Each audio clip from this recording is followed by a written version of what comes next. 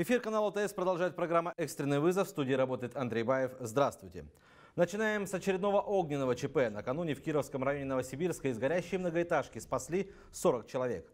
Когда начался пожар, многие жильцы находились в своих квартирах. Густой черный дым, который вырывался из лоджии третьего этажа, заметили случайные прохожие. Прибывшие пожарные сначала эвакуировали людей и приступили к тушению. Оказалось, горели вещи на балконе.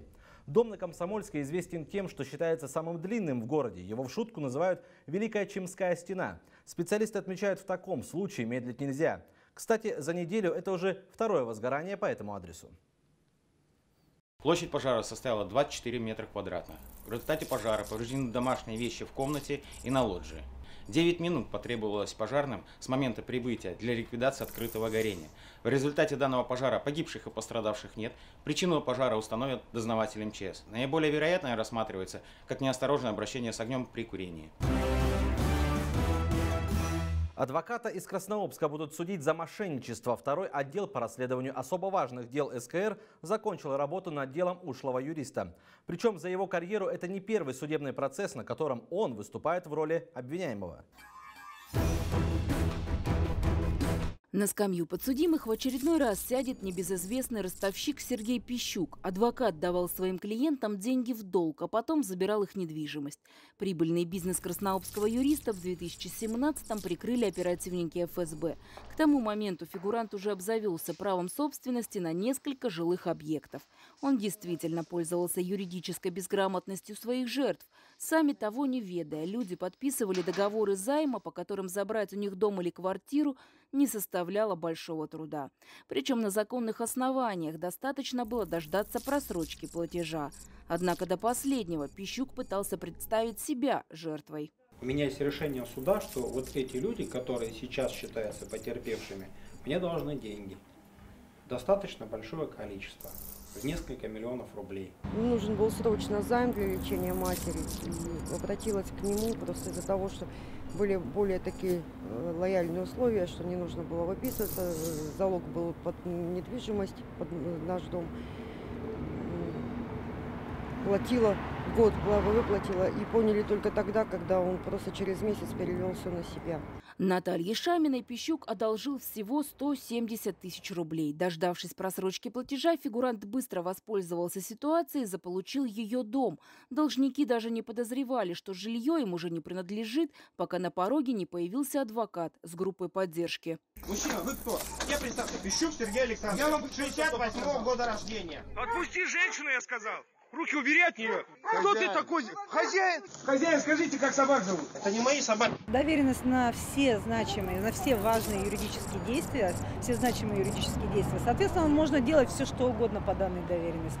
Он мог оформить договор купли-продажи, он мог оформить соглашение об отступном, он мог оформить договор новации. Да много, в принципе, шансов у него было перевести право собственности. Еще осенью 2019-го суд пришел к выводу, что действия Пищука были ничем иным, как особо крупным мошенничеством. Аферисту тогда назначили пять лет колонии общего режима. Апелляцию он проиграл.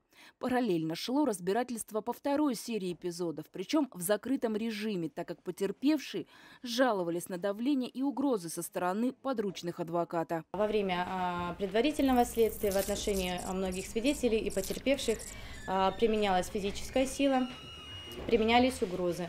Они в своих показаниях э, указывали о том, что боятся расправы, указывали о данных фактах.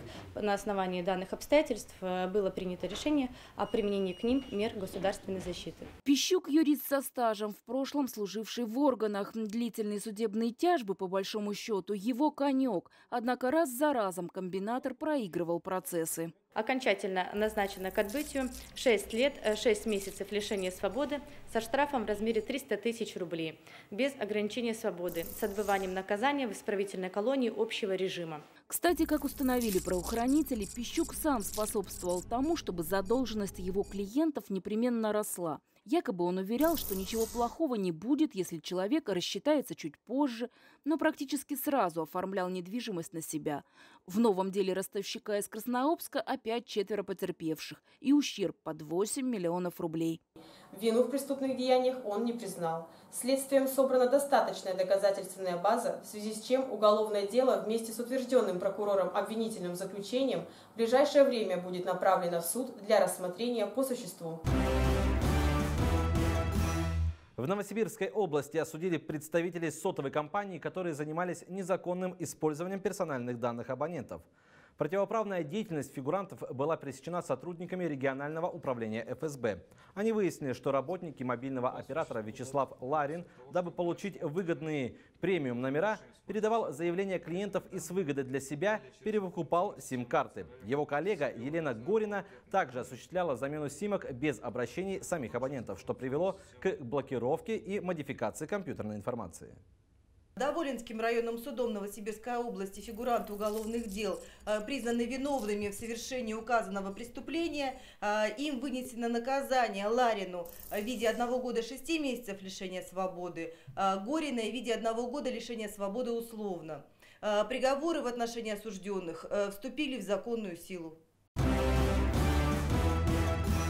В левобережье Новосибирска поймали подростков, которые пытались сбыть наркотики. Один подозреваемый еще школьник, учится в девятом классе. Его подельник – студент колледжа. Молодые люди сделали закладку синтетики, на чем и погорели. Еще одного драгдилера задержали в Заильцовском районе мегаполиса. 49-летний мужчина раскладывал мелкие партии запрещенных веществ в придомовой территории по улице Линейной. Транспортные полицейские изъяли у фигуранта 40 свертков с товаром. После экспертизы выяснилось, в 22 пакетах лежал мифедрон, в остальных гашиш общей массой почти 50 граммов. Возбуждено уголовное дело по статье «Незаконный сбыт наркотических средств в крупном размере». За такое деяние предусмотрено наказание вплоть до 20 лет лишения свободы. При каких обстоятельствах задержаны? Он ну, делал закладки, знаю. Вещества, запрещенные в гражданском обороте, при себе имеются. Да. Беглец пойман после того, как в СМИ разместили ориентировку сбежавшего почти два года назад заключенного. На его задержание ушло всего несколько дней. В результате отработки одной из информаций, полученной от бдительных граждан, сотрудниками отдела розыска оперативного управления ГУФСИН России по Новосибирской области был задержан осужденный Тиньковский Дмитрий Викторович, находящийся в федеральном розыске.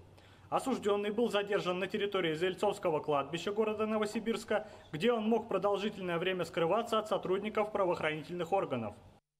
В 2012-м Дмитрий Тиньковский получил 9 лет строгого режима за убийство соперника. Остаток срока ревнивец отбывал в колонии поселения, откуда внезапно до выхода на волю исчез. Поступок, мягко говоря, странный. Осужденный давно мог бы быть на свободе официально. Сейчас правоохранители выясняют причину его бегства и подробности трехлетних скитаний. Повторю, задержали уголовника на территории Залицовского кладбища в Новосибирске.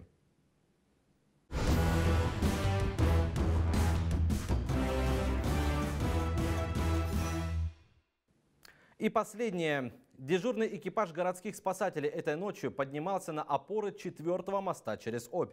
На стройке века у машиниста башенного крана стало плохо с сердцем. Вот поднялись на кран. Сейчас будем вязать веревки и спускать крановщика. Высота больше 100 метров. Сейчас будем проверять, хватит ли нам веревок.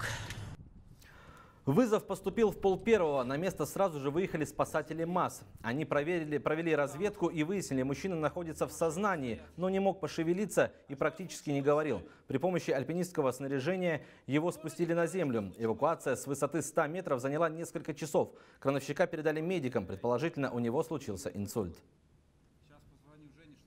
На этом у нас пока все. Если вы сняли происшествие или преступление, присылайте видео нам на WhatsApp номер 8 983 510 2005 или на электронную почту редакции экстренного вызова. В студии работал Андрей Баев. Берегите себя и оставайтесь на телеканале УТС. До свидания.